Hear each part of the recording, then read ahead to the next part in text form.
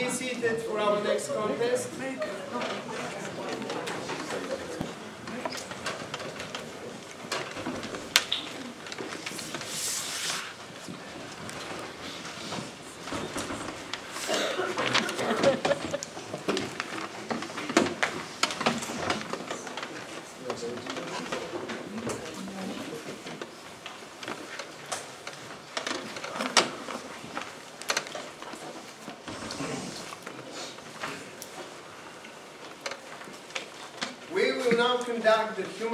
Speech contest. So if you used your cell phone at the break, please, please turn it off or at least silence it. Once the contest has begun, the sergeant at arms will secure the doors. Members of the audience are asked to refrain from leaving or entering the room during the contest. After the contest, please do not leave the room until it has been determined that all ballots have been collected. Here is the speaking order for the humorous contest. Contestant number one, Cyrus Bracy. Cyrus Bracy, contestant number one. Contestant number two, Joanna Bradford. Joanna Bradford, contestant number two. Contestant number three, Brad Belmore. Brad Belmore, contestant number three. Contestant number four, Jose Torres. Jose Torres, contestant number four. Contestant number five, Judith Markowitz. Judith Markowitz, contestant number five.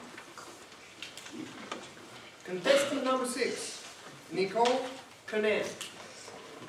Nicole Canan, contestant number six. We will proceed with the humorous speech contest.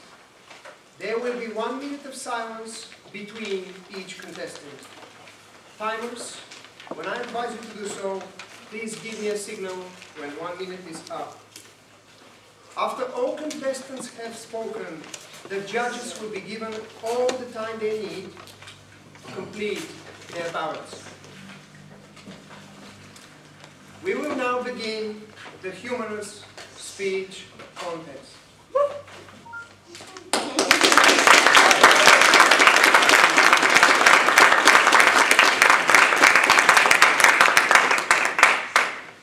Cyrus Bracy, it's as easy as riding a bike. It's as easy as riding a bike. Cyrus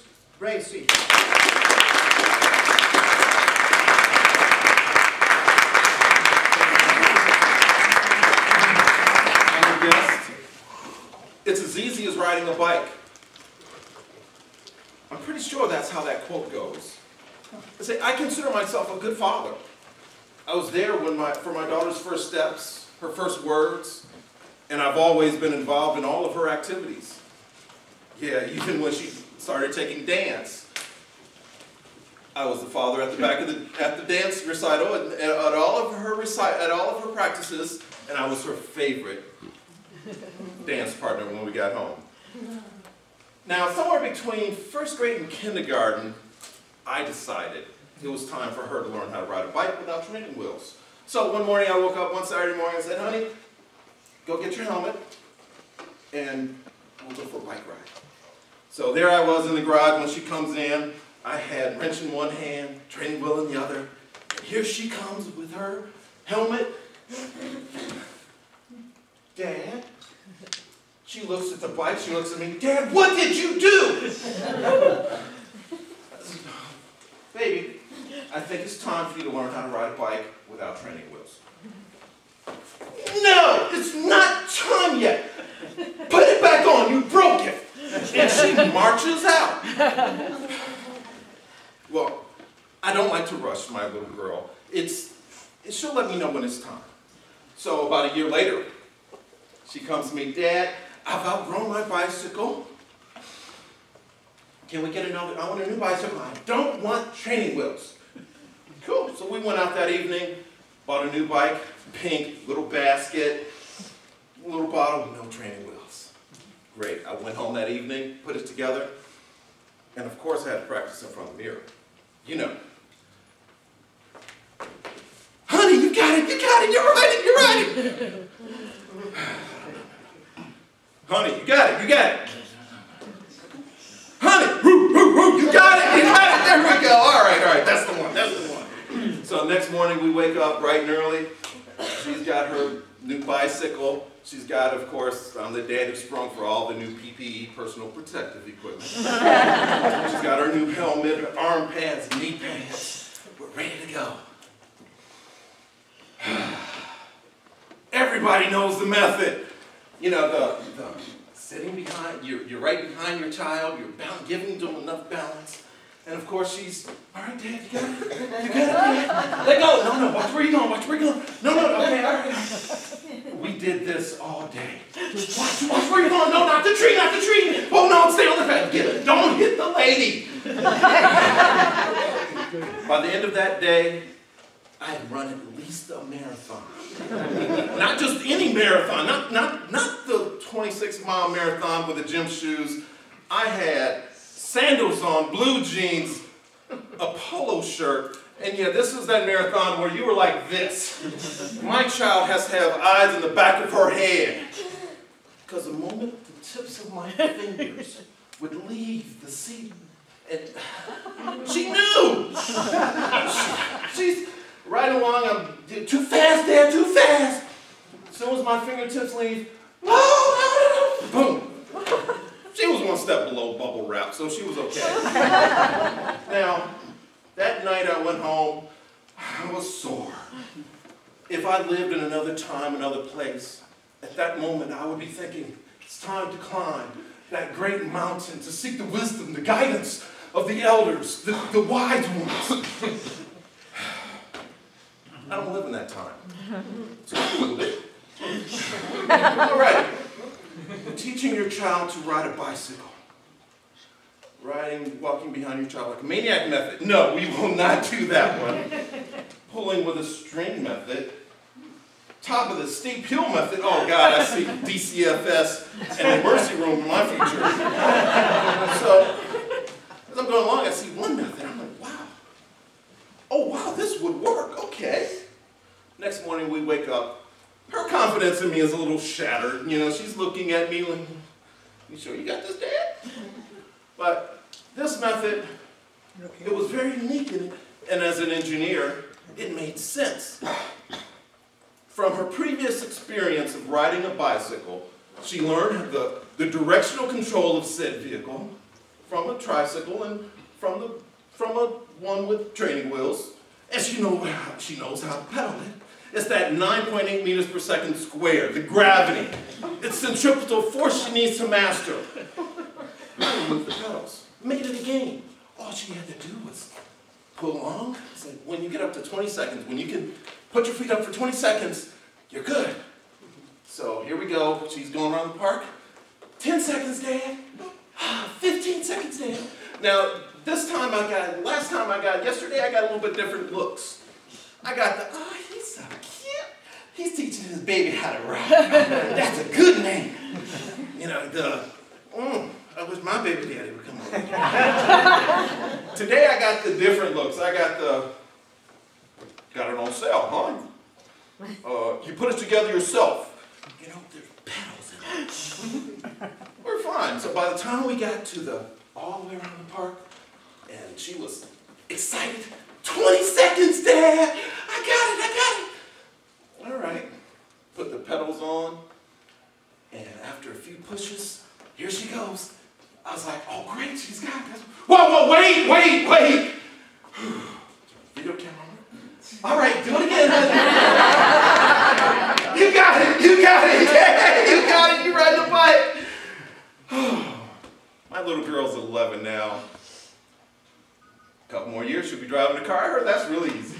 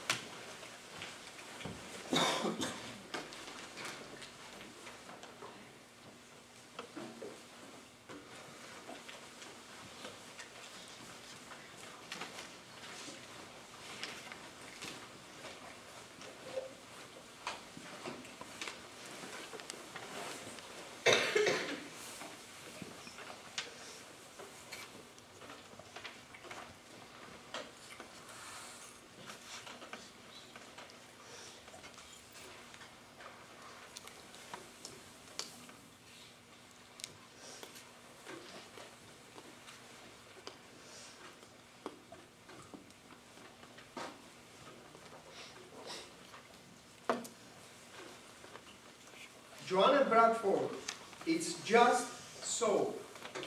It's just so, Joanna Bradford.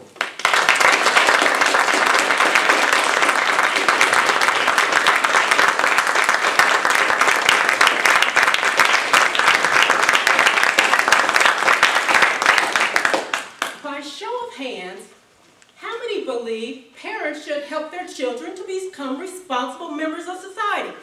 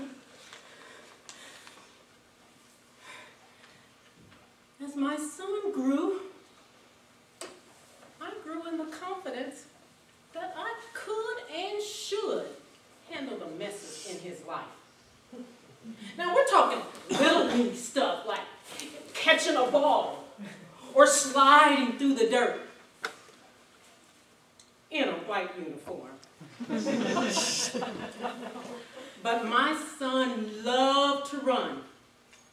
The minute he heard water gushing into the tub, and he's running for me. Oh, but determined to clean him up. Stop! Stop! It's not going to kill you. It's just soap.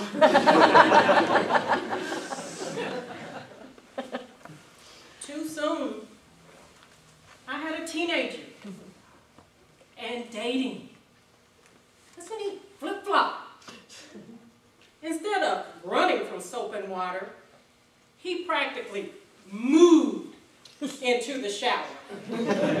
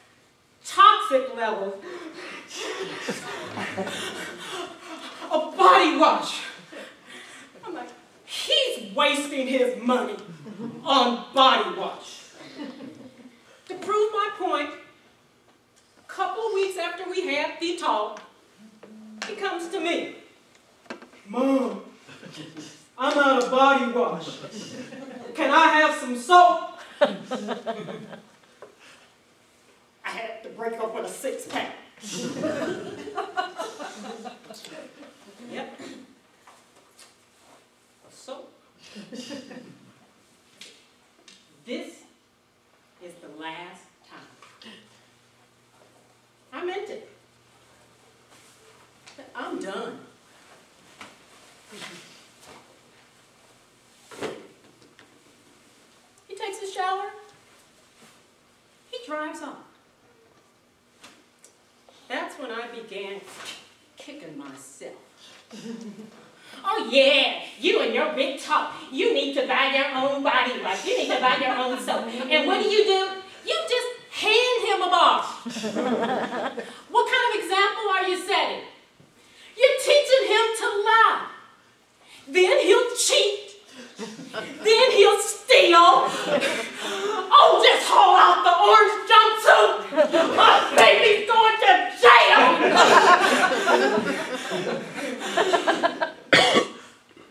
Unless I get the soap back. I rush to his bathroom. I snatch the soap out of its caddy. Oh, then I, I gotta get the box back. Nasty.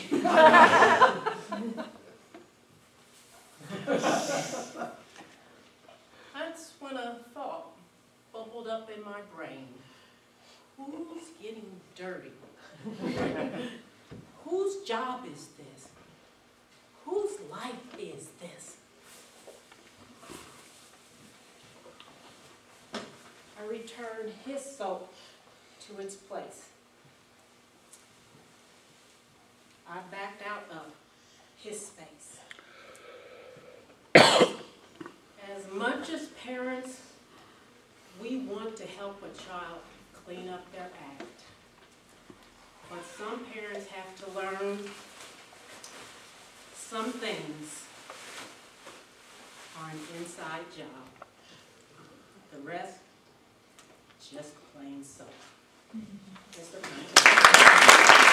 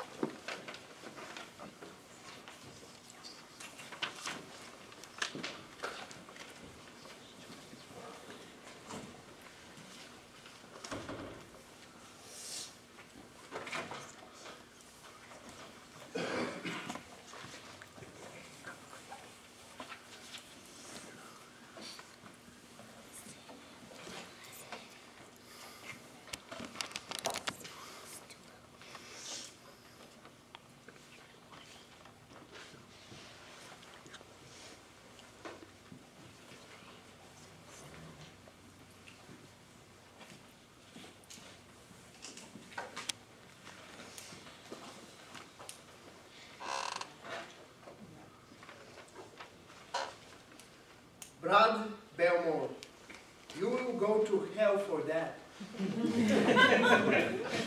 you will go to hell for that, Brad Belmore.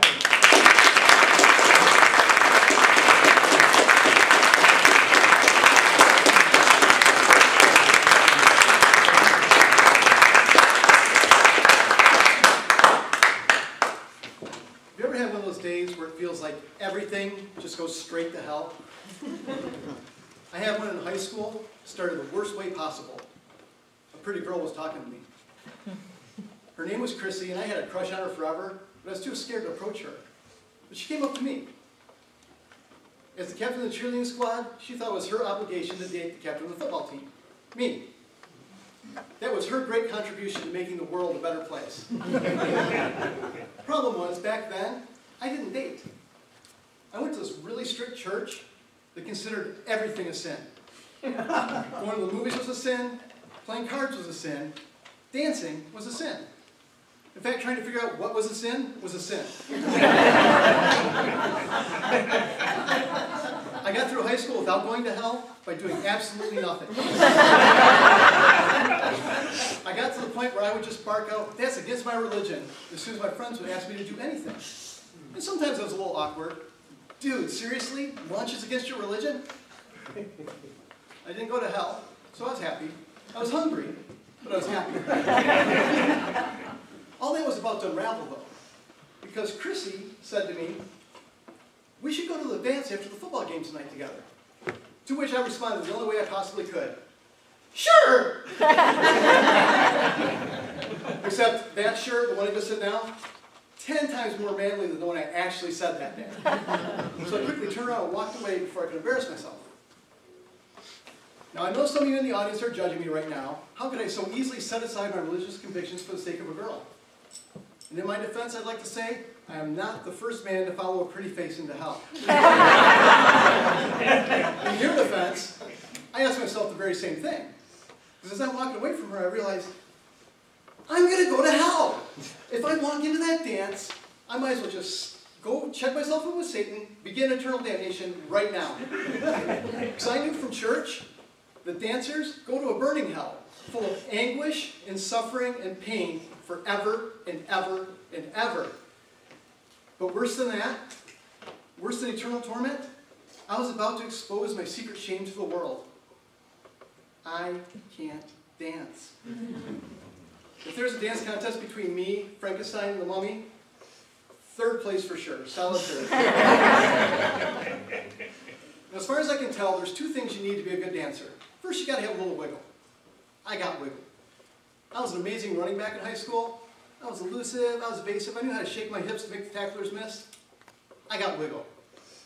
What I lacked was that second thing you need, the more important thing. I got no rhythm. that church, that real strict church, that's a hand clapping church. Everybody claps their hands for every song all the time. Because that's the way God likes it. Everybody clap their hands, except for me. Because when I clap my hands, eventually I get off beat so bad, I'd screw up everybody around me. so pastor pulled me aside. He said, son, you got to stop clapping your hands when we sing. I said, but that's the way God likes it. He said, no, God don't like it when you clap your hands.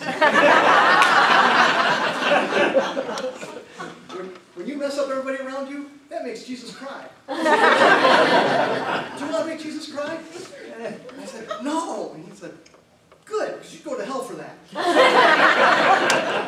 so I said, well, what am I supposed to do? He said, when it comes time to clap your hands, you feel that temptation, you just take those hands, you shove them deep in your pants pockets as they'll go, and you keep them there till we're done singing. Don't you touch nothing, you'll go to hell for that.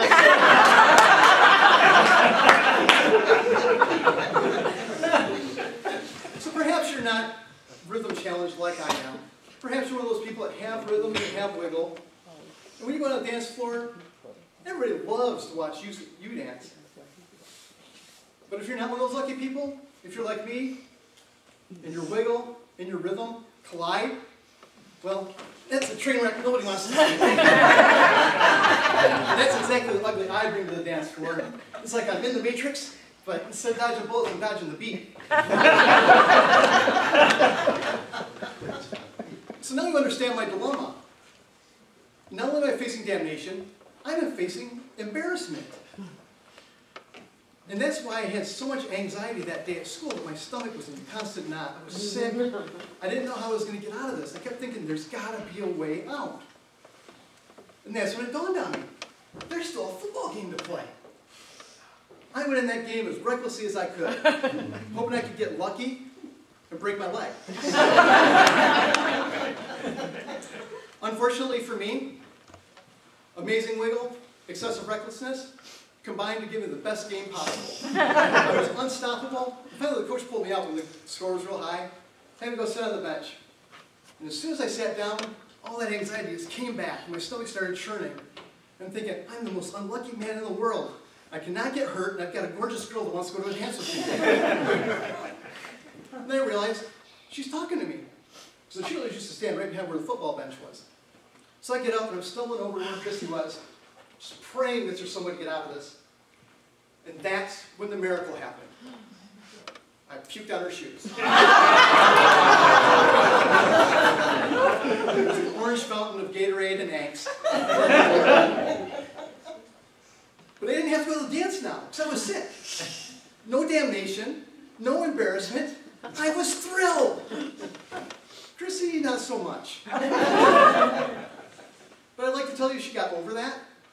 And she went from being my crush to becoming my high school sweetheart, to ultimately becoming my wife. But that would be a lie.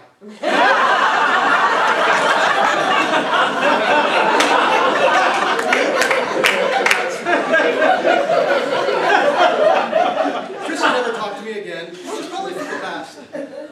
Because had we actually dated, she eventually would have dragged me to a dance, and this would have happened. and making people watch this, well, you go to hell for that.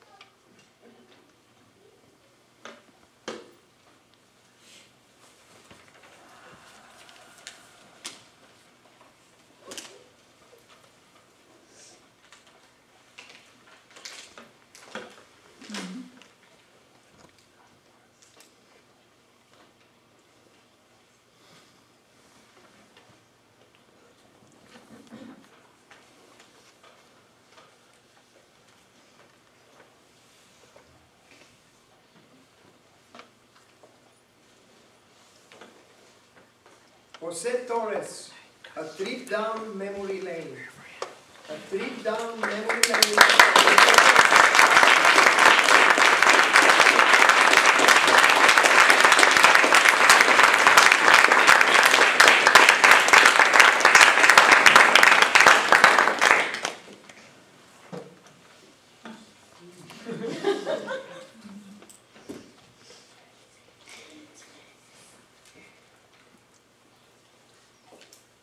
Toastmaster, fellow Toastmaster, and honored guests. How many of you are familiar with these two items?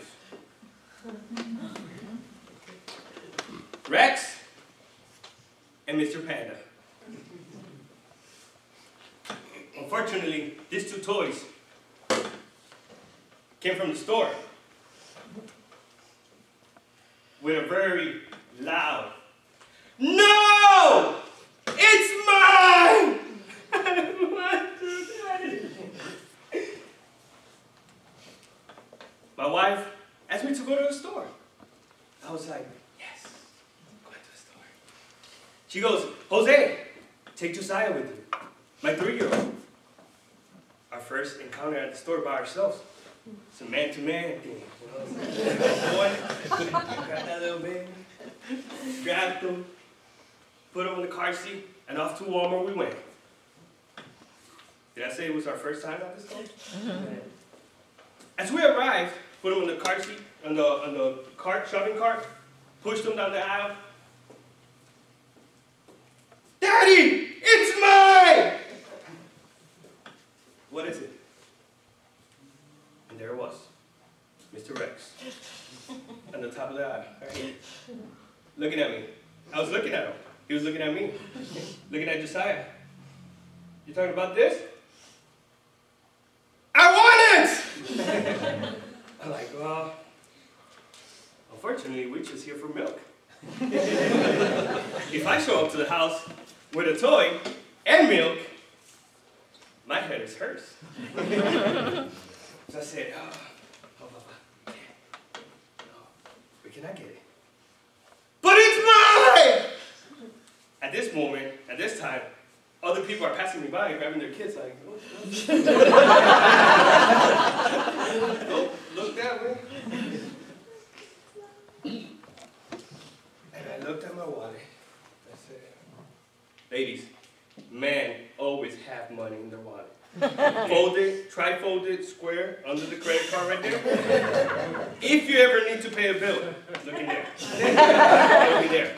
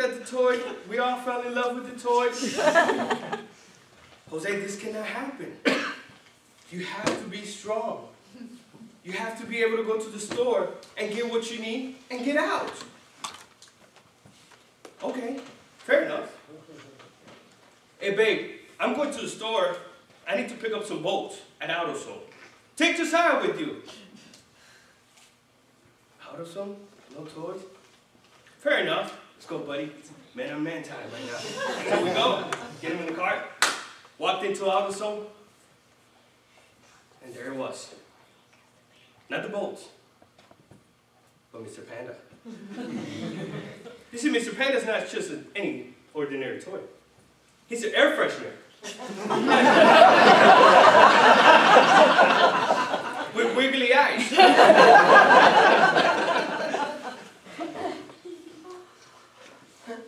it's mine! what is it? The panda! At the bottom of the shelf right here. Over the countertop. Next to the chocolates. And the candy. But we're at AutoZone. Why do we have candy and toys, air freshener looking thing, and a 46 year old man behind the counter, Harley Davidson driver, roll up sleeves, looks at me, I look at him, I look at Josiah. If that was my son, I said, I said, what? if he was your son?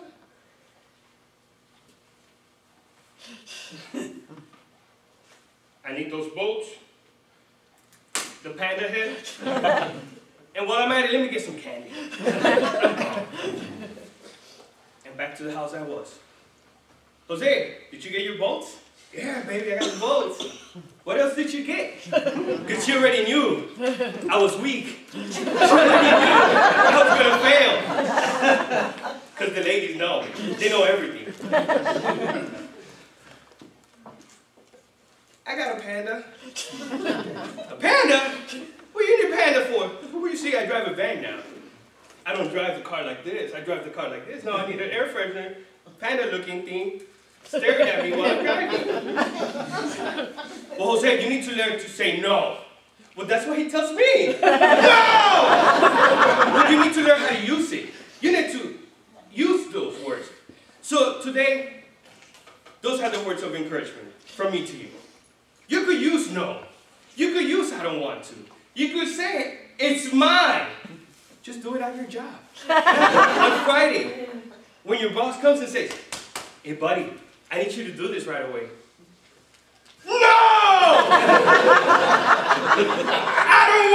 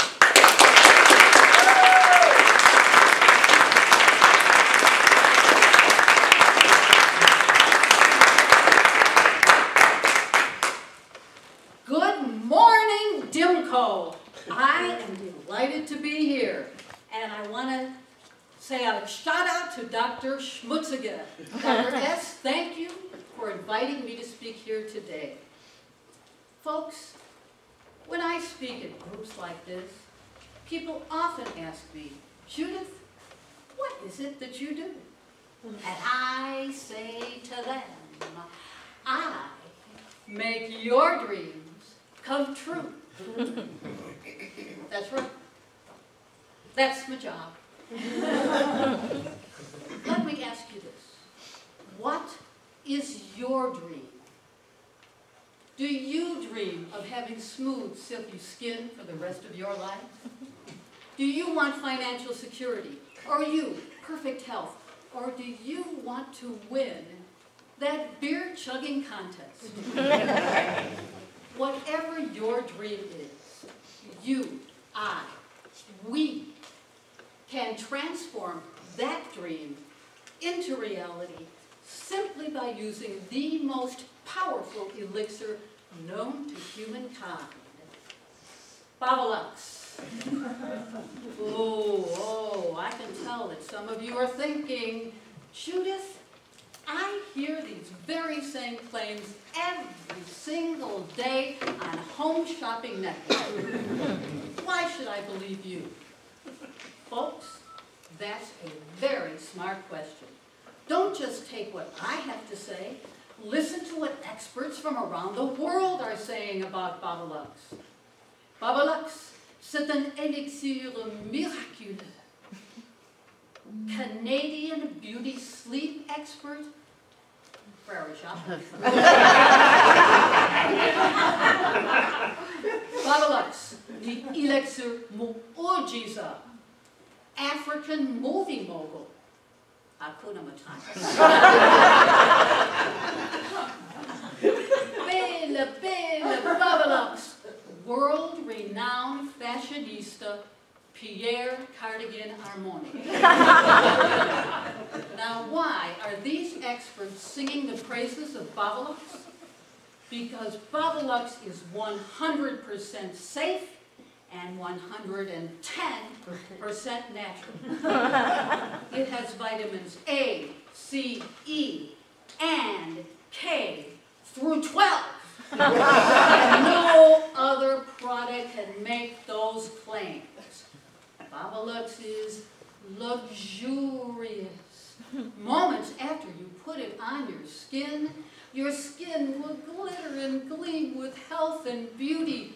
Multi-millionaires will throw themselves at you to give your company money. And you, you will become the employee of the decade.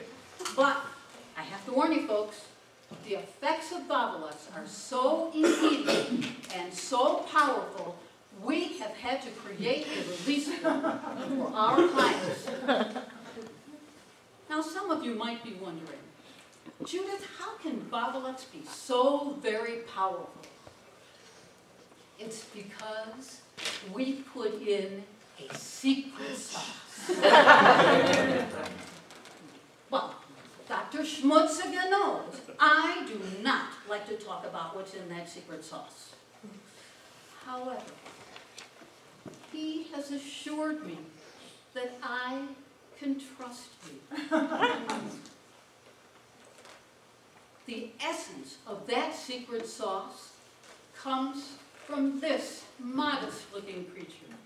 Our scientists have been able to extract the life source, the liquid gold that this creature leaves behind as it moves forward. And, because of that, Babalux is incomparable.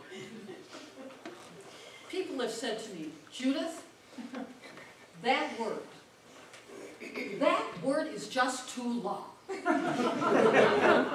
And I say to them, nothing is too long or too short for Babalux because it is unique.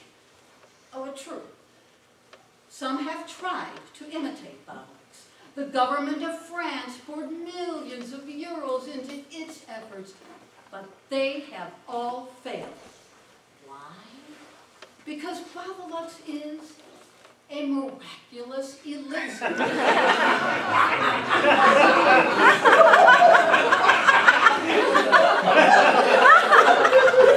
And folks, this is why the experts are so excited about Babalux.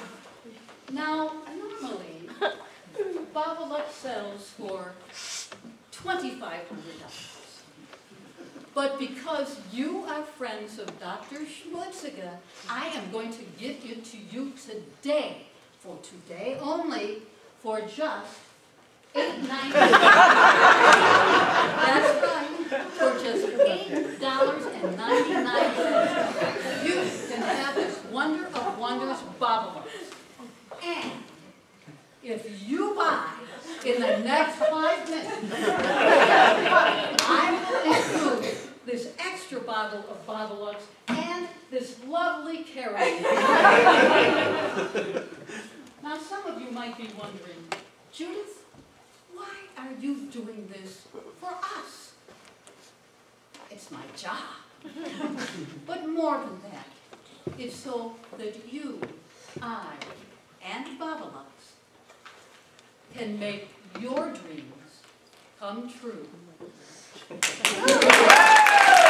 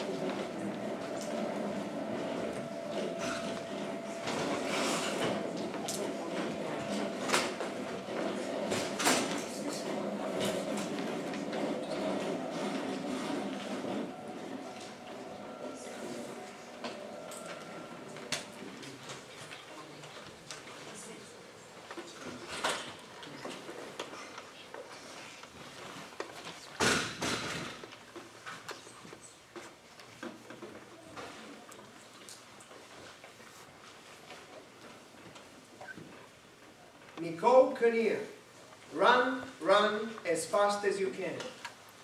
Run, run as fast as you can. Nicole Kinnear.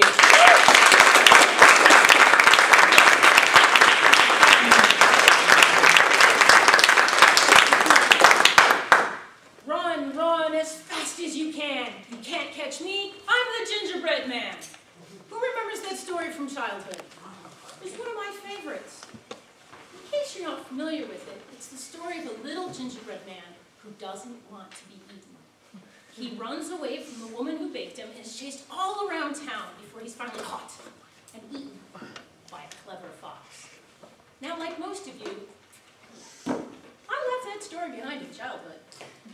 Till about 10 years ago, when the gingerbread man started chasing me. I was in a store with my mother, and I happened upon a salt and pepper shaker set in the shape of gingerbread. It, it was cute. Put it back on the shelf. My mother asked, "Well, what was I looking at? And I pointed out the shakers. She agreed. Yeah, they were cute. Well, apparently, I expressed a little too much interest, because a couple of weeks later, I found myself the proud owner of my very own set. Now I interrupt my story with a question. Have any of you ever received a gift that had a life of its own? That spiraled out of control? Yes, my friends, that's what happened to me. Started simple, but that's how my gingerbread house was built. The next year, my mother, who had started sewing again, made me a set of gingerbread placemats and hot pads. A nice addition to my holiday decorating, if you will. Now, my mother lives in the middle of nowhere. And I can say that because, well, she lives in the middle of nowhere. In fact, if you miss her driveway, your next step is the Canadian Border Patrol. Winters in Minnesota, they're kind of harsh. They get a lot of snow, so she's got time to kill. Over the next couple of years, she followed up the placemats with a set of appliance covers, for the toaster, the bread machine, the stand mixer. Then it was the year that I got curtains for the back door. And I thought she was done when I got my gingerbread apron. Now you would think that my mother had exhausted her gingerbread possibilities. And you would think that this is where the story ends. You'd be wrong. That's when the family stepped in. I'll be the first one to admit gifts from relatives, well, they can be horrible. You just don't see them enough. It's hard to find that perfect gift. Well, my family, they found a way around this gift giving challenge. They found a theme. My grandmother was the first one to jump in. She came up with some molded cookie sheets and several cookie cutters, including one that was running. Isn't he cute? She said. It'll go lovely with your gingerbread collection. Thanks, Gram. Thanks. My sister had to put in her two cents. There were the dish towels. A lot of fun. And then my mother, mother, came up with not one, but two Kleenex box covers. really, Mom? Was that absolutely necessary? Perhaps sensing my frustration, my mother took a year off. Not to worry, my aunt stepped in. she confided in me that she didn't know what to get me. And then she remembered that my mother said I liked gingerbread, and she came up with an assortment of gingerbread ornaments. and of course, there was the year of the garland. Both wooden and beaded. and what house would be complete without my very own set of gingerbread lights? I was shopping with my sister. She pointed out some, oh, look, gingerbread earrings. And assured me they would look just lovely on me. I assured her I'd had quite enough of gingerbread, thank you very much. Enough? I should have talked to the rest of the family. My aunt came up with some soft sculpture. My grandmother, some wall hangings. My sister, the traitor, put gingerbread socks in my holiday stocking. I had a word with my mother. Mom, I love you. You guys are great. But my apartment's only so big, guys. Can you get them to hmm. stop? Hmm. She said that she would go ahead and talk to them, that maybe the gifts would stop. right. They were having too much fun. it had become a game, a contest. Who can find me a gift that's practical, but also gingerbread? And it just kept coming. There was the cookie carrier, the bank, as every 40-year-old one needs one of those. The cake pan. The pie slicer, although I suppose that could be a knife. My cousin thought she won with the bank, but guess what? Mom hadn't given me her gift yet. The Phoebe pajamas.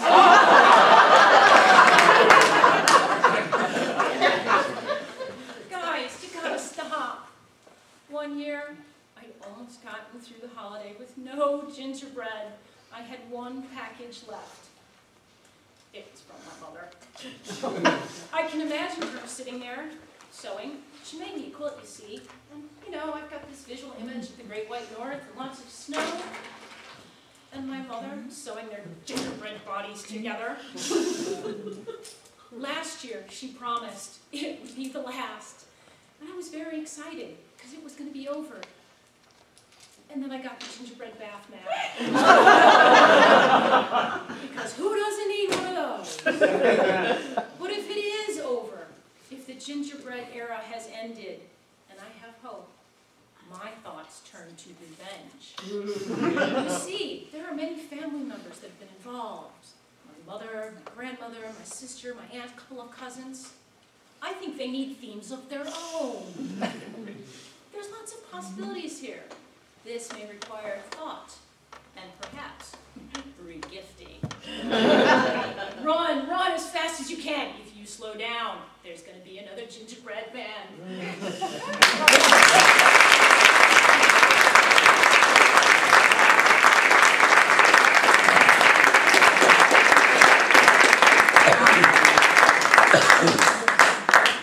Please remain silent until all the ballots have been collected.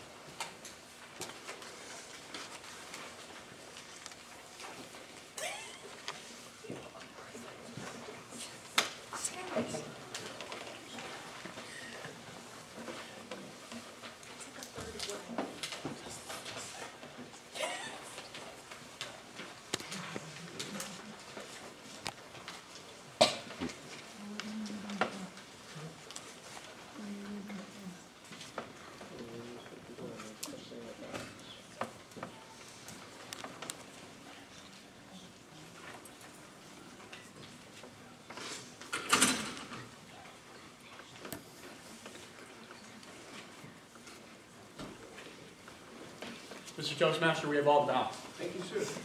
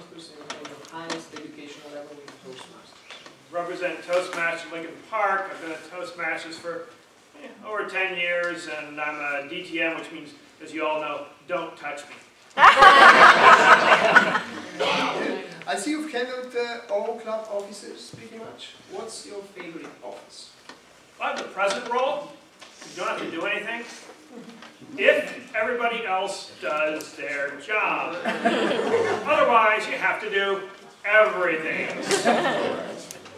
thank you for your participation.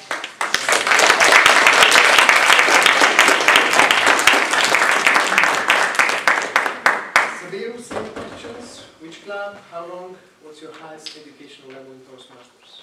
All right, I belong to the club 665, and this is my home club over here.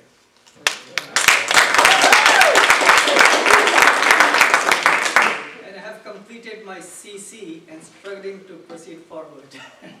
Excellent. If you could give one tip for those people in the audience who have not competed yet, what would that tip be? Come up on the stage, it's a very good learning experience for yourself as you're up on the stage, and also by looking at excellent evaluators and excellent speech contestants.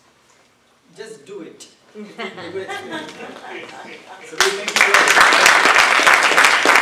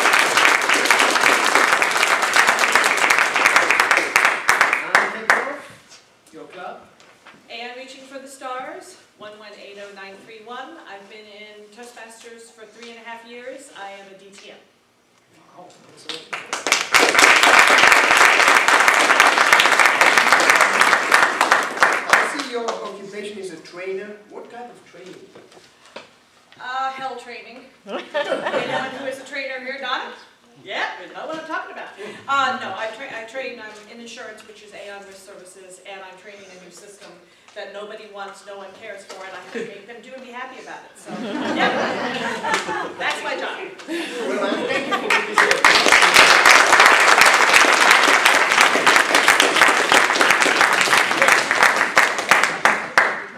Israel.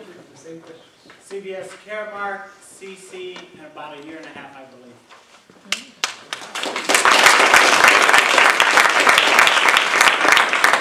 I see that you are a VP of Education. What's your biggest challenge in that role? Well, according to Jim, it's getting people to sign up for the agenda. Then we bribe and it doesn't work.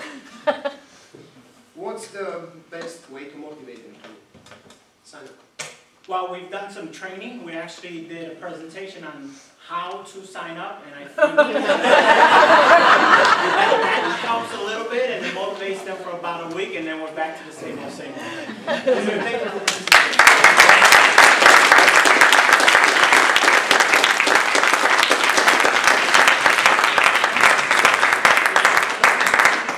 And now we will get to know our humorous speech contestants.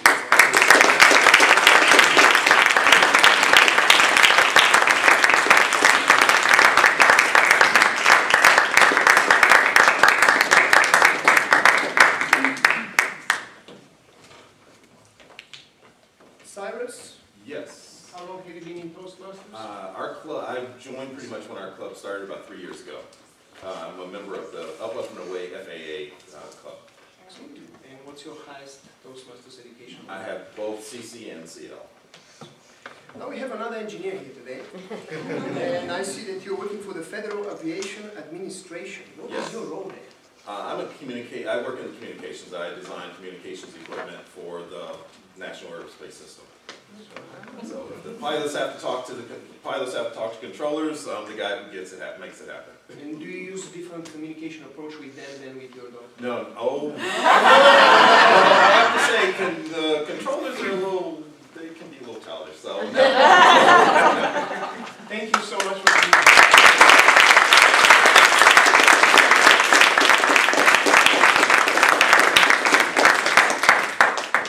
Joanna Bradford, your job? Uh, I'm with True Value Company. I am a competent communicator, and I've been in Toastmasters off and on for 10 years. Mm -hmm.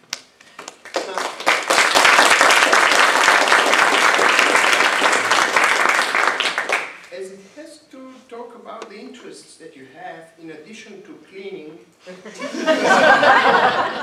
I see you put here reading. What type of books do you like to read? Uh, I like mystery, uh, nonfiction, devotionals, uh, women's fiction. I'm working on something, and if it had a genre, it would be Christian African American literary fiction. I think. Very good. Thank you very much for this.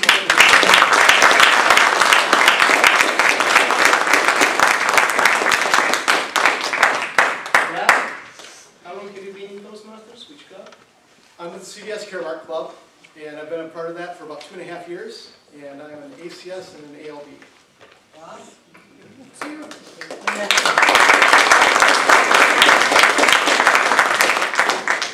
I see you're a club president, so if your officers don't follow your rules, do you tell them you go to hell for that?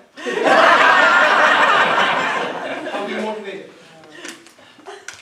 As many of you know, the big problem with being part of a corporate club is that job comes first. So unfortunately, it's a frequent occasion that somebody can't show up because their boss has something else for them to do.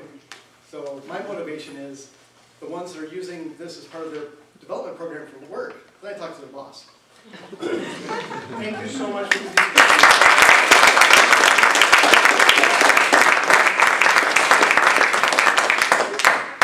Presenters, please tell us your club. I am reaching for the star, along with all the numbers that Ann said. Uh, Currently on my eighth month as a member and uh, one speech away from my CC.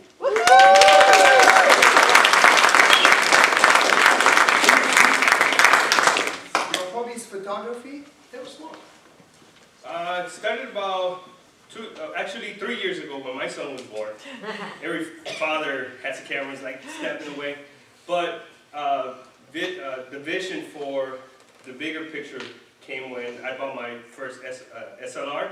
And at that point, I enrolled myself in school. And after 60 months, uh, 16 weeks of a course, uh, I established my own photography business, and it's pretty good. Thank you very much for coming.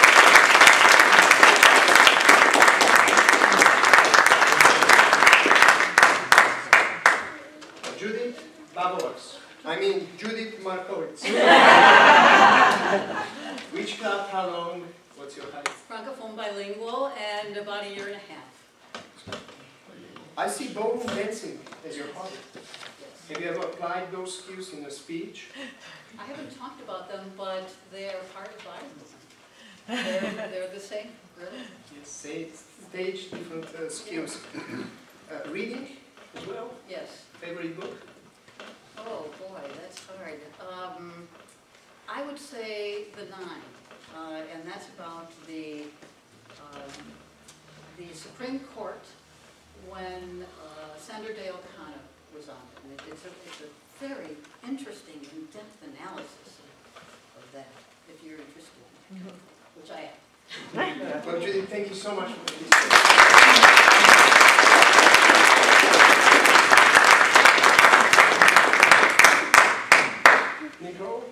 665 Niles Township Toastmasters. This is our home auditorium. Um, about six years across, across a couple of different clubs, um, Advanced Communicator Gold and Advanced Leader Bronze.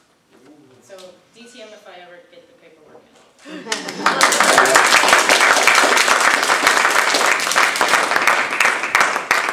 I see that you gathered enough money from cookies for a trip to Boston. Yes, I have a senior Girl Scout troop, so they're the kids that are in high school. And they do a lot of fundraising, but the one everybody knows about is the Girl Scout cookies. So you drag some surly teenagers out in front of a Dominick's or a Jewel food store on a Saturday morning and you make them smile and be presentable. And our kids raised enough money that we did a four-day trip to Boston this past summer.